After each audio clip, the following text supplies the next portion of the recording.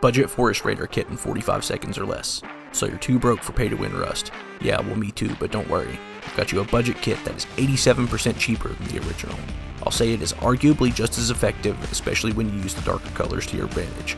The Forest Raider HQM kit is sitting at about $141.60 on the Steam market. This budget kit costs a whopping $17.69, which comes out to nearly 87% off the original price of the kit.